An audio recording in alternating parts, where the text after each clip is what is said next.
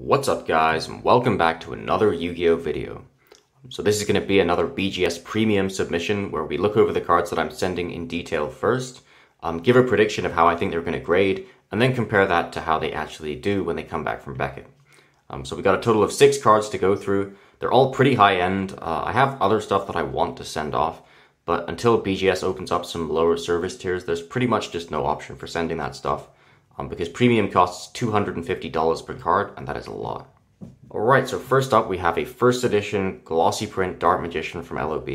Um, so this is a pretty big hitter, uh, and the card's in really good shape as well. Uh, for the most part, it's actually packed fresh, but it just has this little bit of whitening at the top, which uh, it's very small, but at the same time, I think because of the placement, you can see it quite clearly, um, which is unfortunate, but that's how it goes. Uh, centering on the card is also not the best. It's to be honest, pretty good for a glossy print ultra, but it's definitely shifted to the right a little bit and then also down on the front. Um, on the back, it's shifted up like most of the glossy print ultras are. Aside from that, very clean. Um, no edge or corner wear on the back. So I'm thinking most likely this card will end up with a 9, probably with 9 5s on corners and surface, but 9s on edges and centering. Um, but it could sneak a 9 5 depending on how that centering does, so this will definitely be one to watch. Uh, next up is a card that I'm really hoping grades well in terms of for my collection. Uh, it's a wavy print Swords of Revealing Light. Uh, this card's actually also very much faded, but with cards like this where there's not really any magenta in the card to begin with, it's actually quite hard to realize it at first. Uh, the most obvious way to tell with a magic card like this is to look at the um, border around the text box, because on a normal magic card, that'll be pretty much orange, kind of red Whereas when the card is really faded and all of that magenta is gone, it actually looks almost yellow instead. Um, so yeah, pretty cool feature, even though it doesn't change how the card looks that much with Swords of Revealing Light. Um, but yeah, in terms of how I expect this card to grade, it all pretty much comes down to centering. Centering you can see is pretty shifted to the left and it's also a little bit shifted up. Um, that goes for both sides, both front and back. So centering definitely could end up with an 8.5 on this card, uh, in which case there's no way it can get a gem. But if the centering gets a 9, the rest of the card is really, really clean. I think edges and corners could even get 10s. Um, surface should for sure be a 9.5. So I'm really hoping we can get that 9.5. Um, I will be conservative and say my prediction is a 9, but this one has a really good shot if it just gets slightly lucky on centering. And we have one more super rare from LOB to go through, which is a glossy print Flame Swordsman. I love how this card looks, both in wavy and glossy print. I definitely say it's the best uh, super rare from any OG set. Just really in terms of everything, like artwork, aesthetics, being iconic, being a Joey card. It's just got everything going for it. Uh, now this is a card I cracked from a PSA 9. I thought, to be honest, it was a pretty harsh 9. The centering is a little bit shifted down, but it's not bad. Um, left to right is fine as well. Uh, the back of the card is pretty much flawless. Front of the card is really clean as well. It has the tiniest bit of white at the bottom, but it's pretty much invisible, and I don't think it will really affect the grade much. Uh, so I'm definitely hoping for a 9.5 on this. If we could get the 9.5 on centering, which is not out of the question, but I wouldn't expect it, then we could get something like a quad, quad plus 9.5. But even if it gets a 9 on centering, that should still end up as a pretty comfortable 9.5 overall. And now getting into a bit of Metal Raiders, we've got a first edition Mirror Force. Uh, this is ever so slightly faded, so it looks different when you put it next to a, a, completely saturated copy, but I wouldn't really describe it as faded when it has this color. Um, centering is great on this card, very good for a Mirror Force, which is, I would say, one of the less well-centered cards from MRD. Uh, edges and corners are really good on both sides as well. It does have some light scratching on the back. I'm not sure how well it picks it up through the card saver, but that will affect the grade. Uh, and it also has like a little print line on the front as well. So I'm thinking probably either an 8.5 or a 9 on surface. Uh, the rest of the subgrades should be 9.5. So it would be nice to get a 9.5 on this, but I'm not really too bothered about it, and I'll be happy with a 9, which is my prediction. And one more card from MRD, which is a B Skull Dragon. Pretty big card, uh, arguably the most expensive card from Raiders. It kind of changes between this and Summon Skull for the most part. This card's really well centered as well, um, and again, edges and corners are very good. It came from the same lot as the Mirror Force, and it kind of has very similar issues, so pretty much clean, but then just a few light scratches on the back. Um, and again, these came from that collection which I mentioned at the start of the video, where the cards were actually kept unsleeved for many years. So that's why, even though these cards have never been played with, they do have a light um, scratch here and there, which will affect the grade. Um, this one I think can get the 9 on surface. It's a little bit cleaner than the Mirror Force. So I'm hoping for a 9.5 overall, probably a basic 9.5 with uh, three 9.5s and then the 9 on surface. Alright, and now we're down to the final card. Uh, now in terms of value, I did say the Dark Magician was the biggest card in the sub, but in terms of how much I'm looking forward to subbing something, this will be the number one card. Uh, and that is a super faded 1.5 print LOB Blue Eyes White Dragon. Uh, so it's not wavy. You can see it doesn't have uh, those vertical ripples on the card. But apart from that, 1.5 print has just as good eye appeal as wavy. And this card looks incredible. Um, it's in great shape as well really no edge or corner wear whatsoever. Um, surface is clean as a whistle. So if there's only one card in this sub that's going to gem, I'd expect this to be the one. If we got a nice grader, a pristine isn't even off the cards, but it would need the 9.5 on centering, which maybe is a bit generous. Um, I'd say it can get it, but it is a tiny bit shifted top to bottom. And we'd need 10s on everything else, which is pretty unlikely. So it's definitely not something I'm holding my breath for. But given how clean the card is, it would be really nice to at least see one or two 10 conditions upgrades on there to reflect that. Um, so yeah, that brings us to the end of the preview, guys. Now that we've looked over all of my predictions, we're going to cut out from this part of the video um, and see how the cards did when they came back from Beckett. Alright, so the cards have been graded by BGS. Um, there were definitely some more unexpected results this time compared to my recent submissions. Um, but either way, they are back now and we are ready to go through the grades. So starting off with the big hitter, the Dark Magician, uh, my expectation for this was a Quad Plus Plus 9, um, or at least some kind of 9 overall. And what we got was actually exactly what I predicted. So not even just the grade, but like the subgrades, that's all what I expected. Um, very close to Gem Mint, but both the centering and the edges do just let it down that little bit too much for it to get a 9.5. Um, so yeah, I'm very happy with this, especially considering uh, the price that I paid for it, or, or like for the whole collection that it came with um, I cannot complain at all. So yeah, uh, this is for sale, by the way. If anyone's interested, then just hit me up on Instagram. Uh, then the next card, this is getting into some of the stuff which was more unexpected about the return. Uh, so next up is the B-Skull Dragon.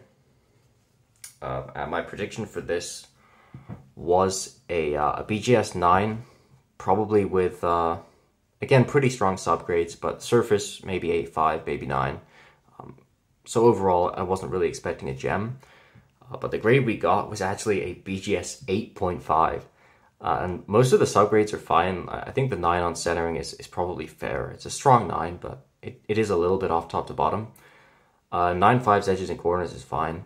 Surface 8, though, uh, in my opinion, is extremely harsh. Um, the front is basically perfect on this. And even the back has only like very, very light scratching. It's kind of hard to show it through the case because obviously the case has scratches as well. But I would not say, like, at least based on my past grading experience, that the surface on this card is bad enough for an 8.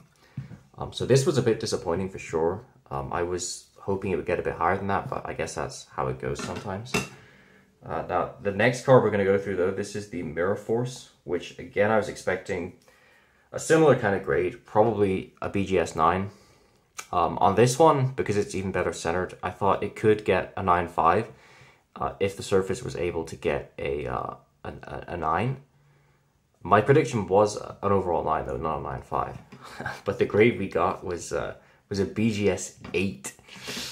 So this is the first time we have ever had a white label, uh, I think in any of the return videos I've ever done, to be honest. Um, I've had a lot of 8.5s before, but to get a BGS 8 honestly, the card has to be pretty bad, and I just do not generally submit cards of that quality.